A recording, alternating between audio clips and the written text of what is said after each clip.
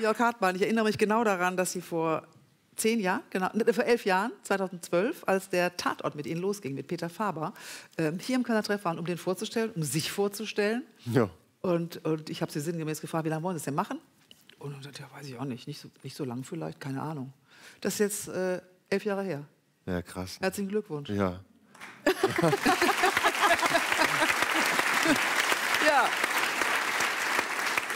Ja, hätte ich damals nicht geahnt, weiß nicht. Anna und ich haben immer gesagt, ja, fünf Jahre, meinst du, kann man das fünf Jahre machen? Ich höre noch eine Casterin auf der Berlinale, die zu mir sagte, Jörg, mach das nicht zu lange. Hör auf, vier Jahre höchstens. Tut dir nicht gut. Ja.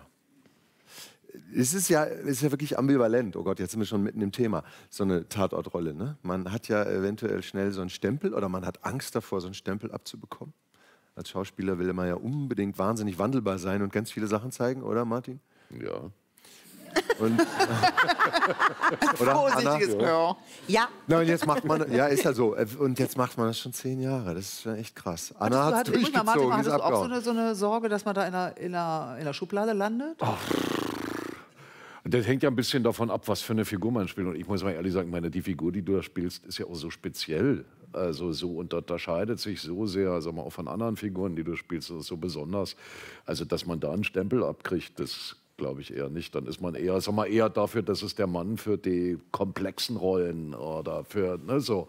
Du bist ein Ist Schatz. Ja, Habe ich das ist Kontonummer? Ich überweise dir was. Ja, Naja, ja, es ist äh, äh, wahrscheinlich, also ich glaube, hinderlicher wäre es auch, wenn die Rolle sehr nah an einem dran wäre, oder? Also wenn man sozusagen gar nicht viel spielt. Ja, das hoffen wir jetzt bei Peter Faber aber mal nicht. Also, ja ich kann euch beruhigen. Also da kann Also, ich nur Mariana er ist zitieren. schon ein bisschen weg von mir. Ja, äh, Faber hat ja wirklich einen kompletten Durchschuss. Ja. Durch den ganzen Kleiderschrank, der ist alles noch. Nicht nur die Socken. Also insofern, aber jetzt ist dann natürlich noch was Neues bei dem, der, den ich schon gesehen habe, der aber übermorgen gesendet wird, Viertel nach logischerweise wie immer.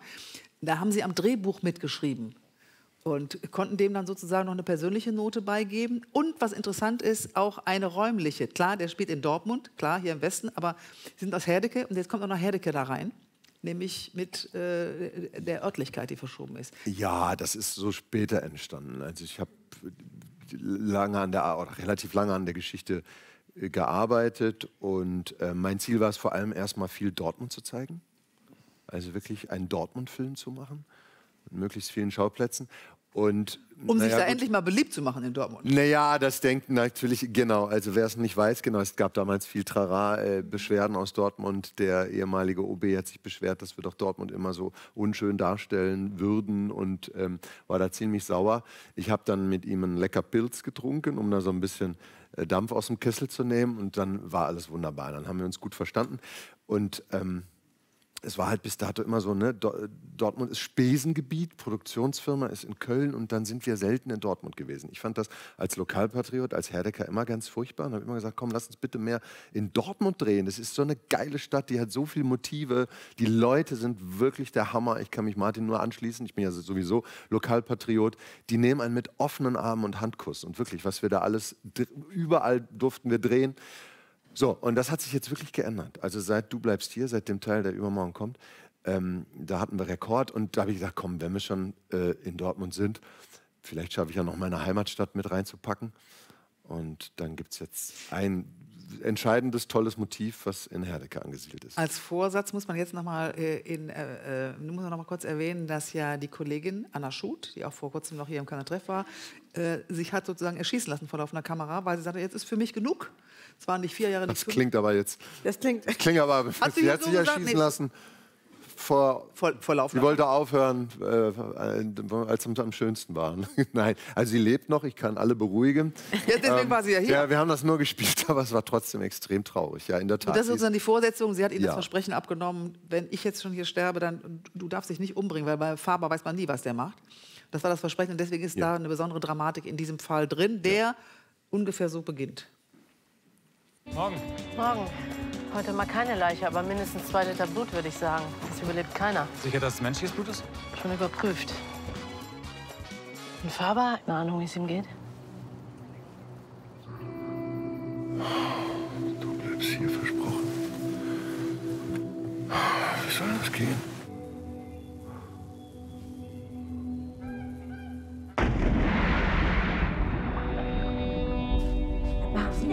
Verpiss mich gleich wieder, keine Bange. Wo sind Sie? Sie sagen mir jetzt, wo Sie sind. Es ist nicht Ihre Schuld, dass Martina tot ist, also... Lassen Sie mich in Ruhe!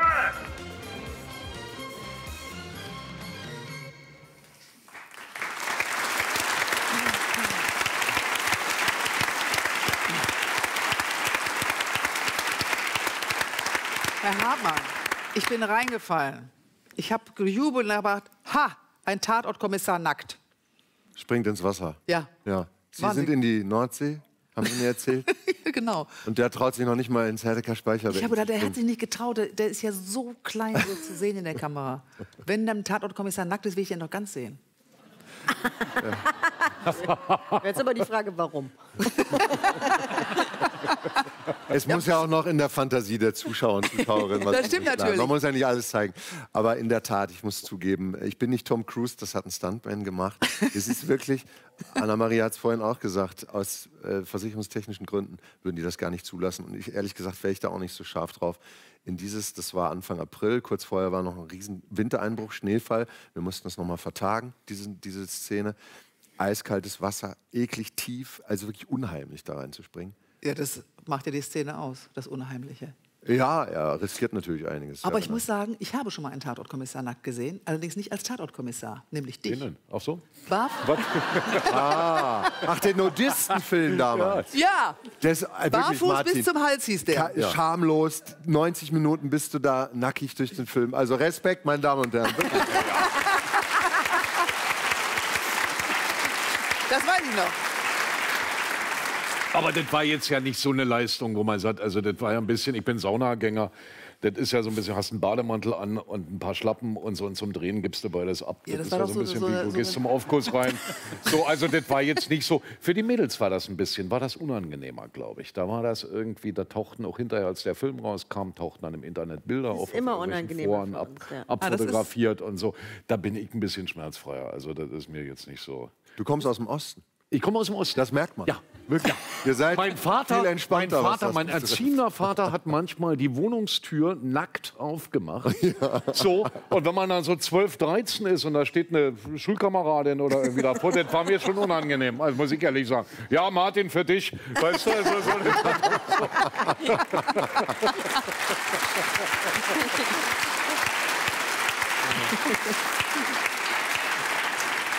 Ja, aber Jörg, weg vom Nacktsein.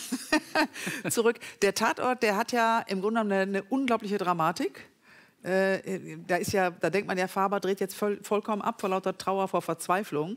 Aber es kommt eben auch ganz viel Lokalkolorit, was Sie gerade erzählt haben, da rein. Und, und äh, wie, warum wollten Sie unten am Drehbuch mitschreiben? Na, Mitschreiben klingt jetzt ein bisschen kleiner, als es war. Das ist wirklich meine Geschichte, die ich entwickelt habe äh, und die ich auch geschrieben habe. Ähm, sozusagen mit Jürgen Werner als Co-Autor. Ähm, ich ich habe schon lange so den Impuls immer gehabt zu schreiben. Früher mal Theaterstücke geschrieben, die aber eigentlich letztendlich in der Schublade geblieben sind. Ähm, habe leider nicht ganz so früh angefangen wie Frau Lecki.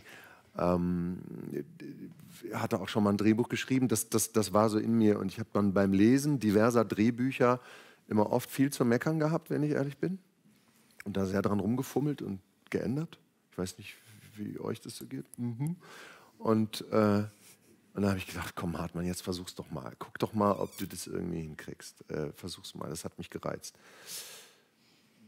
Ja, ähm, ich glaube, ich brauchte dann auch irgendwann bei dem Tatort so nach zehn Jahren neue Herausforderungen, dass ich da mal wieder irgendwie neue Grenzen austeste, weil sonst fange ich an, irgendwie mich zu langweilen. Und wenn ich dadurch natürlich einen Beitrag zu der Geschichte leisten kann, und ich hatte mich schon oft gefragt, wie sieht es eigentlich bei Faber aus, so in der Biografie? Woher kommt der genau? Wir wissen, er kommt aus Dortmund, aber ich habe schon lange mal überlegt, vielleicht kann man da ja mal ein bisschen mehr erzählen. Und das Das mögen viele Leute beim Tatort nicht, das weiß ich. Aber wer sich auf den Dortmunder einlässt, der weiß, dass wir auch immer viel, sag ich mal, äh, über die Figuren noch jenseits des Krimiplots erzählen. Und ähm, so ist das bei dem Diese ganze Peter Faber-Geschichte, von der man dachte, was ist da eigentlich, die wird eben am Sonntagabend erzählt, so wie es wirklich war oder was, beziehungsweise was dahinter steckte. Nun war es der erste Tatort ohne die Kollegin Anna Schut an der Seite. Ähm, ist das, ist das so ein Phantomschmerz gewesen? Warum ist sie jetzt nicht da? Bei dem Teil nicht, weil sie präsent ist in dem Teil. Sogar einmal Weil- zu sehen ist. Naja, nicht nur, also sie ist wirklich präsent durch, dadurch, dass wir uns in diesem Teil die Zeit nehmen zu trauern. Das war mir auch ganz wichtig, dass man da nicht einfach drüber hinweggeht, als wenn nichts passiert.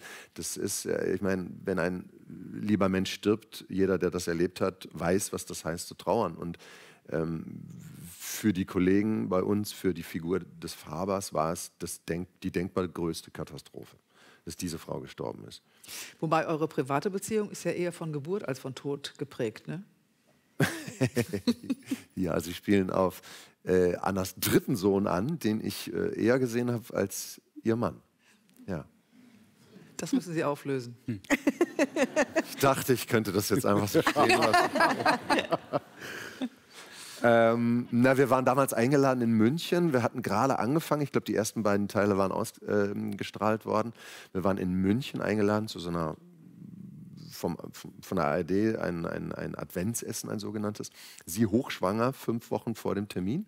Und ich dachte, ach, du bist ja echt mutig. In Düsseldorf wohnt sie heute noch und wohnte auch damals in Düsseldorf, ist also nach München gefahren, fünf Wochen vor dem Termin. Ach, das ist alles gut. Und gegen Mitternacht sagte sie dann, Jörgi, ich glaube, ich gehe jetzt mal langsam ins Hotel. Ich sag, ja, gut, alles Gute. Wir waren verabredet, morgen früh beim Frühstück reden wir noch über den nächsten Tatort, sprechen noch über das Drehbuch, was müssen wir noch ändern, was können wir verbessern. Alles klar. Am anderen Morgen, ich stelle mir den Wecker, klingelt das Telefon, Anna Schut. Du Jörgi, du, ich bin hier in München im Krankenhaus. Ich habe heute Nacht meinen dritten Sohn zur Welt gebracht. Äh, kannst du mal vorbeikommen? Ich habe den Koffer noch im Hotel. Dann bin ich zu ihr und sie saß da wie eine Eins, wirklich wunderbar entspannt, als hätte sie wirklich mit dem Dalai Lama irgendwie einen buddhistischen Workshop gemacht, aber nicht irgendwie ein Kind auf die Welt gebracht. Und ähm, ich dachte, wie macht diese Frau das? Ähm, und wir sind das Drehbuch noch durchgegangen. Ist ein bisschen krank, oder? Nee, äh, nee. Toll. Ja, es war wirklich toll. Und Moritz war dann auf dem Weg wahrscheinlich schon von, also ihr, ihr Mann, ja, Moritz Firmann. Äh, Er durfte das Düsseldorf. Kind auch sehen. Er durfte das Kind irgendwann sehen, ja. Ja, sehr, sehr schön. Ich meine, Sie beide sind ja den umgekehrten Weg gegangen. Ne? Du kamst aus äh, dem Osten, sage ich jetzt einfach mal, Ja. aus Ostdeutschland ins Ruhrgebiet, bist da Ja. geblieben, hast dich hier jetzt irgendwo verliebt und die Wurzeln jetzt hier sozusagen gedeihen lassen. Und Sie sind von äh, Herdecke Von hier. Äh, Richtung Berlin bzw. Potsdam. Ja, mit Umwegen natürlich von Herdecke aus, aber irgendwann dann nach Berlin an die Schaubühne 99 und gelebt habe ich vier Jahre in Berlin. Also bin immer ja noch irgendwie mit der Schaubühne verbandelt, aber ich bin dann 2003 nach Potsdam rausgezogen. Also lebe Aber wie ist das, wenn Sie nach Hause kommen, nach Herdecke? Ihre Mutter und Ihre Schwester leben da? genau. Ja. Und wenn ich, also wenn ich, ich lebe gerne in Köln, aber wenn ich nach Düsseldorf fahre und über die Rheinbrücke komme, denke ich mir, ah, schöne Silhouette, schön. Ja. Wie ist das, wenn Sie nach Herdecke kommen? Ja, sehr schön, sehr schön. Je älter ich werde, desto mehr weiß ich, dass ich, naja, ich habe immer gedacht, naiverweise, man könnte Heimat vielleicht mitnehmen oder sie irgendwo anders finden. Und das ist jetzt nichts gegen mein neues Zuhause, gegen Potsdam. Es ist wunderschön und alles wunderbar. Aber Heimat hat, glaube ich, wirklich was mit, mit den Erinnerungen aus der Kindheit äh, und der Jugend zu tun, mit Menschen vor Ort, mit Dingen, die einen geprägt haben, mit Düften, mit ganz speziellen Ja. Orten, mit ganz speziellen Winkeln, die was auslösen. Und ähm, die sind halt in Herdecke, ist so. Äh, Gibt es denn da noch Kontakt zu, zu, zu Schulfreunden beispielsweise? Ja, schon auch. Ähm, auch noch mit welchen aus Herdecke. Äh, viele, mein, also eigentlich mein, zwei meiner allerältesten Freunde leben da auch nicht mehr. Einer nicht weit weg in Solingen, einer in Berlin. Von daher hat man so ein bisschen äh, Heimat dann auch in der Ferne noch. Oder wenn ich jetzt meinen ältesten Kumpel in Berlin treffe, zwei alte Herdecker, dann haben wir sozusagen ein bisschen Heimat ähm, in der Ferne. Aber Nennt er es- Sie auch Fackel? Ja, er nennt mich auch Fackel. Fackel. Ja, jetzt habe ich Abi-Treffen, dann werden sie mich auch alle wieder Fackel nennen. Also muss ich kurz erklären. Fackel, ich war Handballer, mein Vater war ein guter Handballer, ja, und ich habe gedacht, es war mein Trauma, dass ich nie ein guter Sport, eine Sportskanone war. Und irgendwann bin ich doch zum Handball gekommen, habe es fünf Jahre wirklich durchgezogen, mehr schlecht als recht. Und äh, man hat mich irgendwann Fackel genannt, weil jemand, der eine Fackel hat, hat einen richtig harten Wumms. Das war bei mir ironisch gemeint. Aber es hat sich als, als, als Name erhalten. Woher kommt der? Der fackelt nicht lange. Oder was heißt das? Ja, weiß ich auch Fackel. nicht. Fackel, keine Ahnung. Im Ruhrpott war das, also bei uns in eine Herdecke wahrscheinlich, vielleicht auch nur auf unserer Schule, weiß ich nicht, ob das, das war eine Fackel. Das ist ja verrückt. Ja. Ja. Klingt, Nicht wegen meiner roten Haare, die ich früher hatte. klingt doch liebevoll, Fackel. Finde ich auch. Ist doch gut. Oder? Also, Fackel Faber, schön, dass Sie da sind. Fackelfaber, Papa.